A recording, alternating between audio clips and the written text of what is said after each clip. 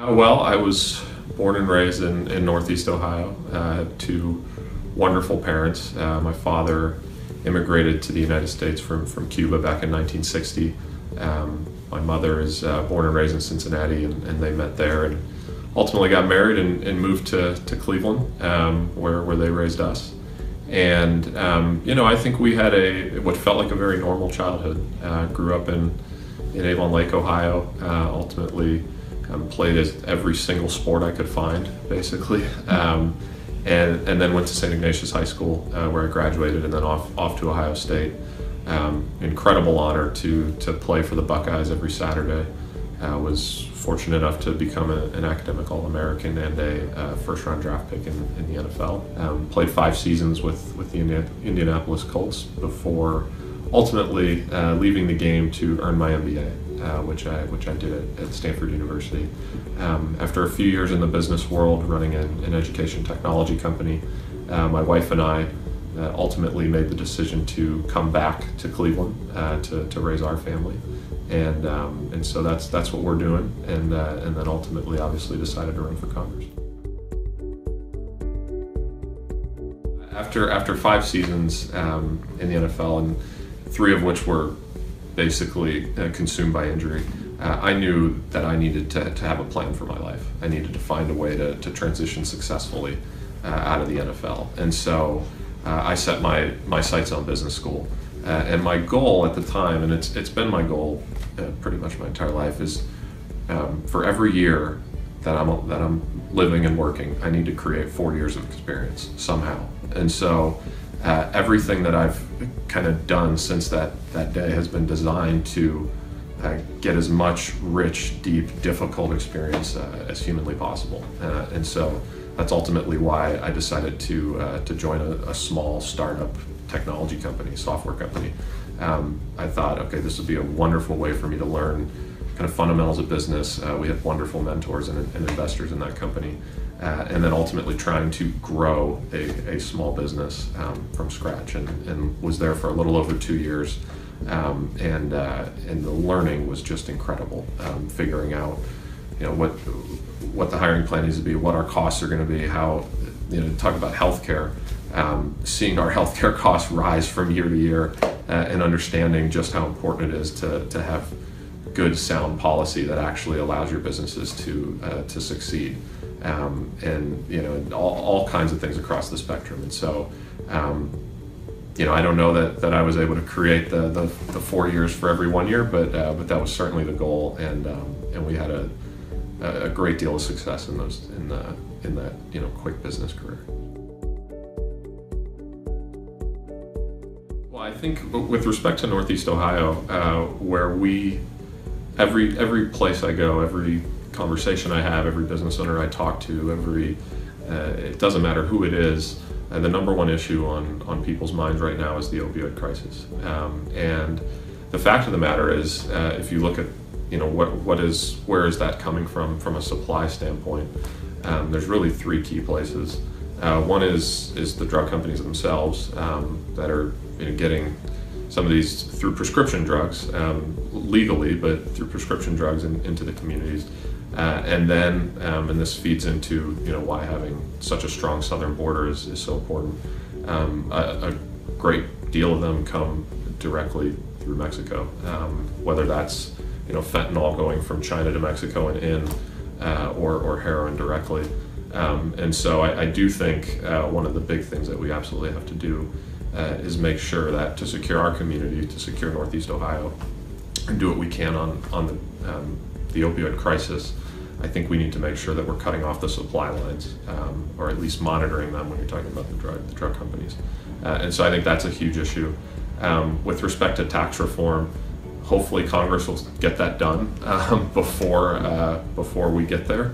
But uh, I think, you know, with, res- with respect to the economy itself, um, I believe basically the way I approach it is to think of it like its own business in a sense. You want to make sure that the incentives are set up correctly. You want to make sure that you're giving your company, or in this case, uh, your country and Northeast Ohio, all the advantages it needs to compete effectively in the global marketplace. Um, this is a global market, and, and we absolutely are competing, uh, no matter kind of where you're talking about. And so for that, we absolutely absolutely need to have a competitive tax policy uh, that allows us to compete on a, on a level playing field with uh, with some of our neighbors, um, and and also we need to deregulate uh, the economy. I think smart regulation's fine, uh, but not to the point that they're making our businesses less competitive. Uh, because the truth is, if we have a booming business community, a booming middle class, um, then this country will be in a much much better place.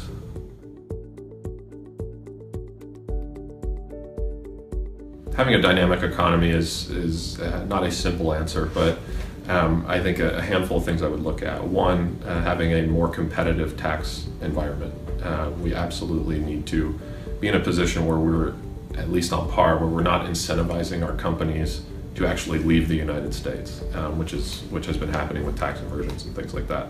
Um, so we need to make sure that we're more competitive from a tax environment. Regulation is, a, is kind of goes part and parcel with that. Uh, concurrent with that, I believe that uh, we need to do a much better job of educating our children uh, and preparing them for the workforce, whether that's directly out of high school or once they leave college. Our kids need to have the skills to participate in the 21st century economy, and right now it's just not happening often enough, um, unfortunately. And so, um, those combined with you know another another one I would say for sure uh, is um, to improve the quality of our infrastructure. Uh, it's it's absolutely true. If you travel and you, you kind of leave the country, you go to different places, you'll see other countries that have invested correctly in their infrastructure. They have sound infrastructure, whether that's trains, bridges, uh, airports, what have you. Um, and I do believe that we need that to kind of grease the engine a little bit and make it easier to, to move goods and services throughout our country, um, drive the cost down for, for our businesses. Uh, and so those are a, a handful of things. Um, obviously, trade policy is another thing that um, that we need to make sure that you know is set up correctly, such that that again, it's it's about making sure that our businesses um, can prosper and, and are able to um, you know grow the economy such that we have the jobs that can employ all the great people in Northeast Ohio. A sound immigration policy begins with having strong borders such that we can monitor and understand who's actually coming into and out of this country. Uh, we simply have to know that uh, from a national security perspective, but also from an economic perspective. Um, so it starts with having strong borders. Uh, on top of that, uh, I believe that if you are somebody who loves this country, shares our values, and obeys our laws, and is going to contribute to our economy, then we need to find a legal path, um, a legal way for you to enter our country. Um, but again, it, it, it starts with having secure borders and then making sure that the people that are actually entering the country are the people that we want to have in this country, um, that are going to make America stronger and better and, and continue to, to push our country forward.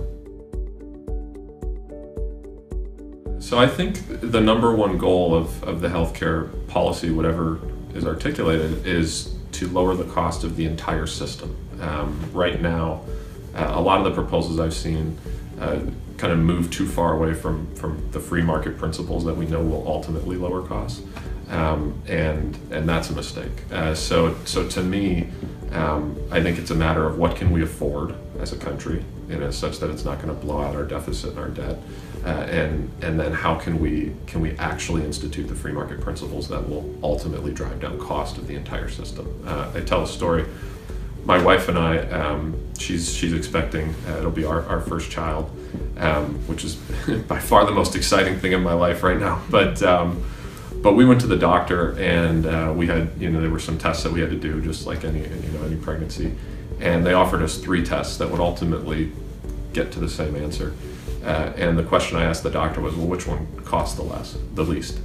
And she said, well, I have no idea, but it doesn't matter because it's you know your insurance is going to pick it up um, that sort of dynamic uh, where the people making the choices have no thought whatsoever as to what the cost of, of the various choices is um, is part and parcel of why you have an accelerating uh, cost curve on the healthcare side. And so that's why I say bring the choices and the value decisions um, closer uh, to the patients when possible.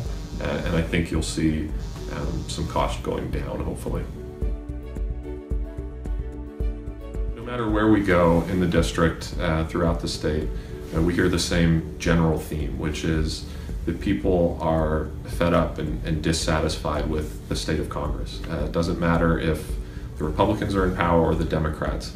Uh, what seems to happen is gridlock ensues, nothing gets done, and the hardworking people of Northeast Ohio and our country feel let down uh, year after year by Congress. And so when you find yourself in that situation, uh, you really have two options. You can either change the system or you can change the people that you send to represent you.